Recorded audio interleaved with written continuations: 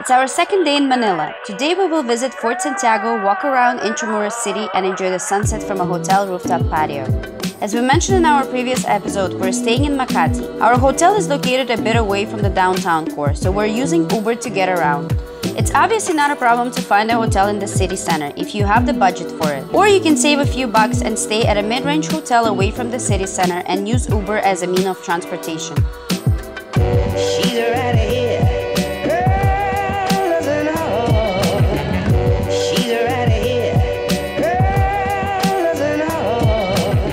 However, the most popular mean of transportation are the jeepneys. Originally, they were made from World War II leftover American military jeeps. Until this day, they carry that look. Every jeepney is different and decorated in its own unique style. There are about 200,000 jeepneys in Metro Manila alone. Due to their outdated diesel engines, they are one of the main contributors to air pollution in the city. They are also in violation of vehicle safety standards and government is trying to regulate them and reduce their numbers.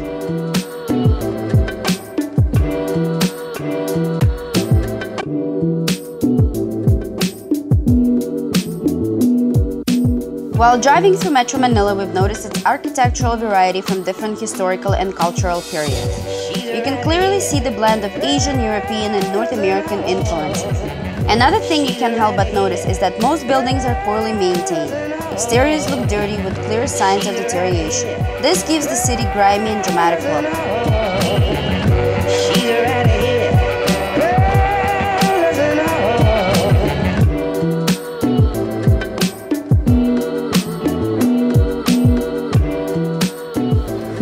First on the list is Fort Santiago. It's open every day from 8 a.m. till 9 p.m.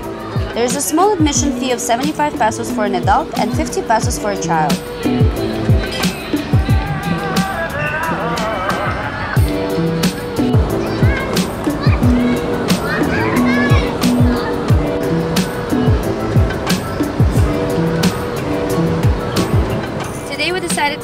Historical note and we're exploring Fort Santiago. It is military defense structure built in 16th century during Spanish colonial period. Fort Santiago is located within Intramuros area which is also known as Walled City. If you enjoy history, it's highly recommended to hire a tour guide which you will be offered at the entrance to the Fort Santiago. Or you can do is ask just Wikipedia the information about the area that you're about to explore. The name Intramuros came from Latin and translates to within the walls. It occupies 64 hectares and is surrounded by almost 5 kilometers of wall. Within the walls, there are many points of interest, museums, churches, and even a golf course.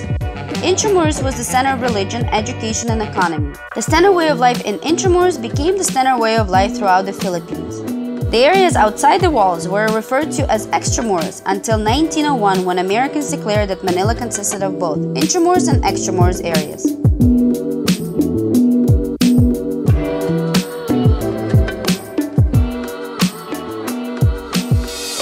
Santiago, you can find a museum dedicated to Jose Rizal, who is a Filipino national hero. Unfortunately, the Rizal Shrine was closed during the hours we were visiting Fort Santiago.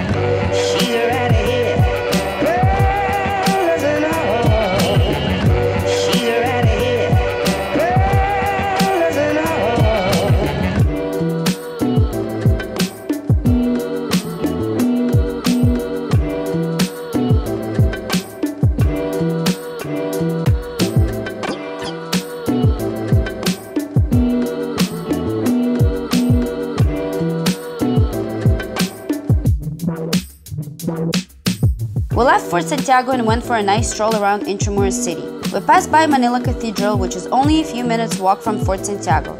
It's one of the oldest Roman Catholic churches in Manila from Spanish colonial time. It was destroyed many times by earthquakes and once during World War II. The present structure was completed in 1958 and is considered to be an important religious and historic landmark.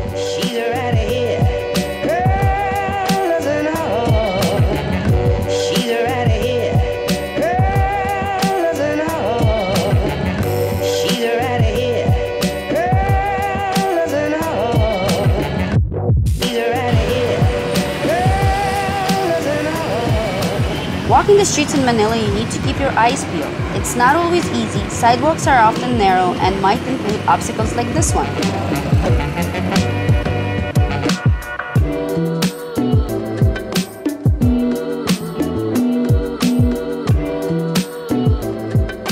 While walking around Intramuros, we've noticed that some streets still maintain Spanish colonial charm.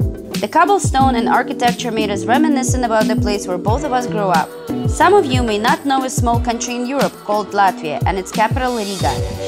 It also has old cities, cobblestone streets, and century-old buildings that brought up childhood memories, minus the scorching sun and tropical humidity, which was never part of it.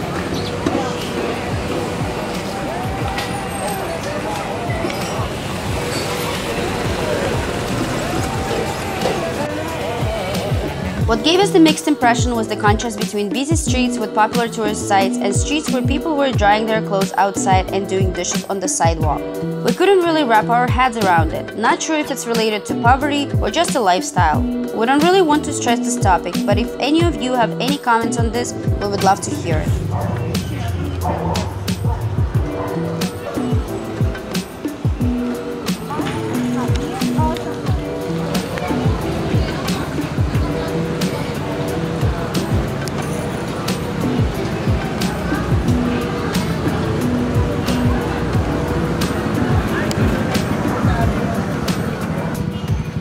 The street name signs are not always easy to find. Navigating through the streets might sometimes be challenging.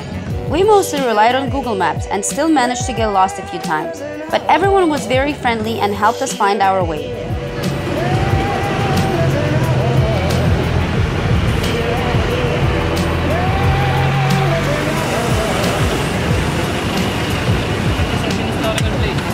Thank you.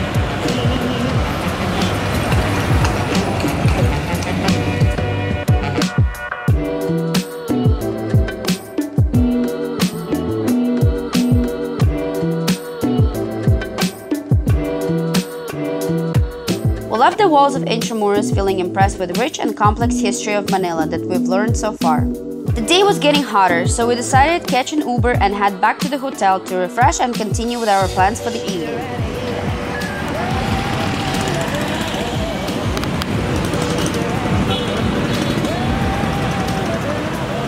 It's not always easy and sometimes very time consuming to call an Uber in Manila.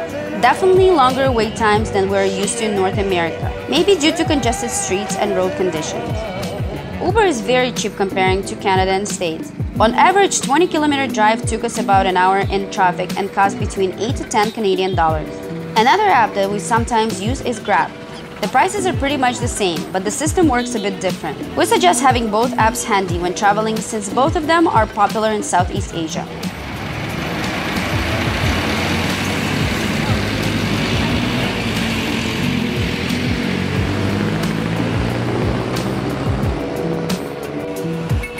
This time our Uber was taking extra long and we started to wonder if maybe we should try taking a jeepney, but couldn't figure out how the system works, which one is going in the direction of our hotel and how much it would cost us. So we decided to give our Uber another 5 minutes.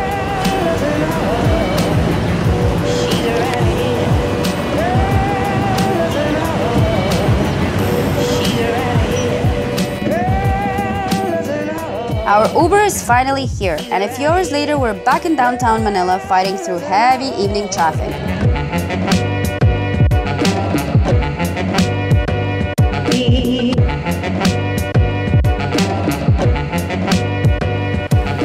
One of the things we like to do when visiting big cities is to check out their tallest buildings, try a few fancy restaurants, and finding the best rooftop patios to enjoy the sunset. After doing a bit of research, we chose the Pan Pacific Hotel to watch the sunset. We looked at the map and realized that the hotel is only 15 minute walk away from the Baywalk. To our surprise, the Baywalk was not very enjoyable. It smelled fishy, dead fishy. We didn't stay too long and headed in the direction of Pan Pacific Hotel. We're going to Pan Pacific Hotel to grab a snack, have a drink, and enjoy the view and the sunset. Yeah. Pan Pacific Hotel is located in the middle of city's shopping district and only 2 kilometers away from Intramuros. It's a 5-star 21-story hotel. It features 5 restaurants and 3 cafes with their popular Sunset Lounge, which is located on the 7th floor. When we got to the Sunset Lounge, we were not impressed with the view, as it was obstructed by buildings. We quickly filmed the sunset on time-lapse, had a snack and a beer, and left. It was a long and very tiring day, so we decided to call it a night. Stay tuned for our next episode.